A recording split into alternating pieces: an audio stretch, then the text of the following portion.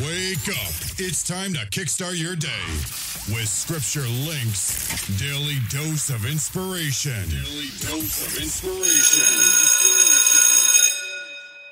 Good morning and welcome to this brand new day. This is Scripture Links Daily Dose of Inspiration for Monday, May 23rd, 2022. And as you wake up and you start this brand new day, Thank God for this day. Commit this day to Him. Use this day to bring glory and honor to our Lord. And use this day to share your faith with someone and encourage somebody. And while you're out and about today, take some time to give God praise. Because He is worthy of our praise. He is worthy of our worship. He is worthy of our thanksgiving. Our scripture reading today is taken from the book of James, chapter number 1. And it's verses 13 through 15. Scripture says, Let no man say when he is tempted, I am tempted of God. For God cannot be tempted with evil, neither tempteth he any man. But every man is tempted when he is drawn away of his own lust and enticed. Then when lust has conceived, it bringeth forth sin. And sin, when it is finished, bringeth forth death. Friends, we spent last week looking at the topic of trials. And of course, as I always do, I encourage you to go back and, and listen to those episodes last week and see what you can learn about trials because trials are a benefit to our faith. This week we're going to talk about temptation and temptation is the opposite. Temptation isn't beneficial to our faith. Temptations are, are things that could be detrimental to our faith. And this week, uh, we're going to look at some real life examples of people who have been tempted and how they came out of those temptations. But for today, let's talk about exactly what temptation is. James says here in verse 13, Let no man say when he is tempted that I am tempted of God.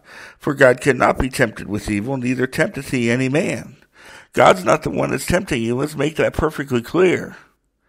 When you're going through times of temptation, it is not God's fault.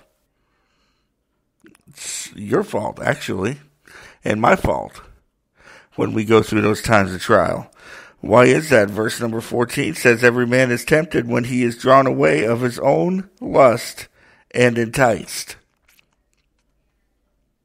We are tempted when we are drawn away from our own lust, the things that we desire.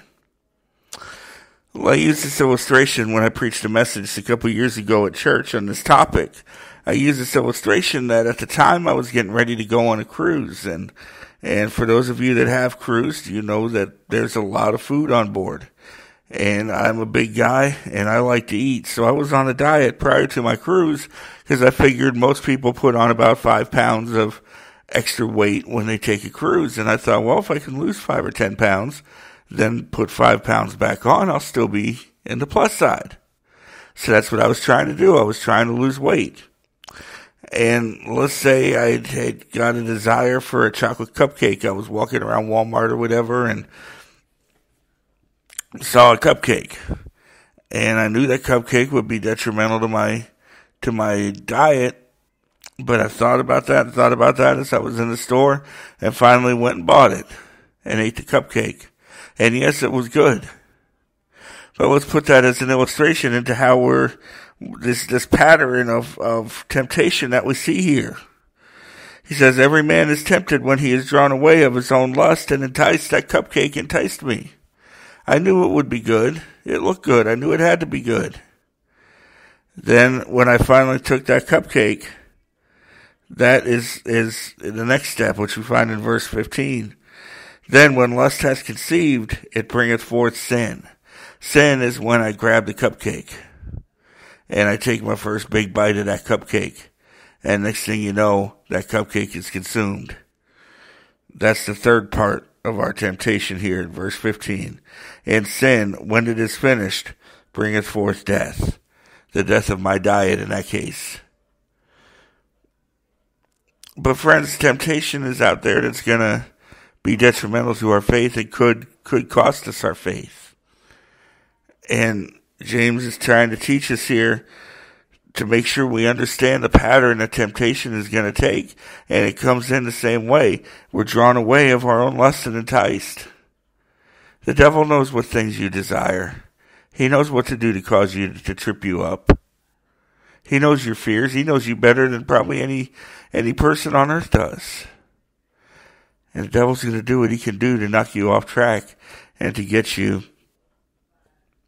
away from your relationship with God.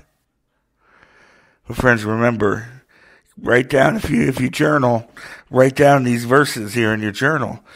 Verses 14 and 15 of James chapter 1 because that gives us the steps to temptation.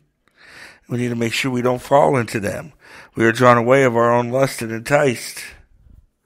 Right there is where it starts. And we'll be referencing back to these couple verses the rest of the week as we start taking a look at some real life examples. But for you, what are some temptations that you've fallen into recently? Think about it. What are things that caused you to stumble recently?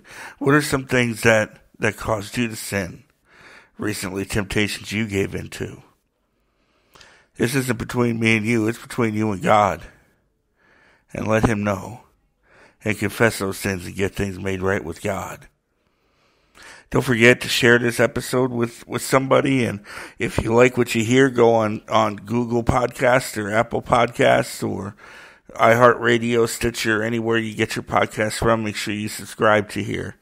Because uh, if you rely on getting this episode off of Facebook every morning, uh, it's there when I remember to put it up. And I know there was a day last week that I forgot to put it up the broadcast.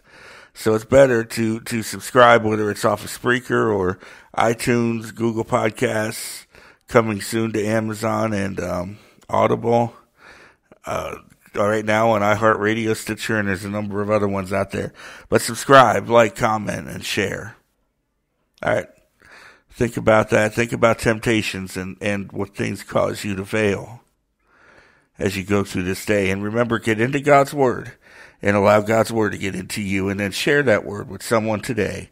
Have a blessed day.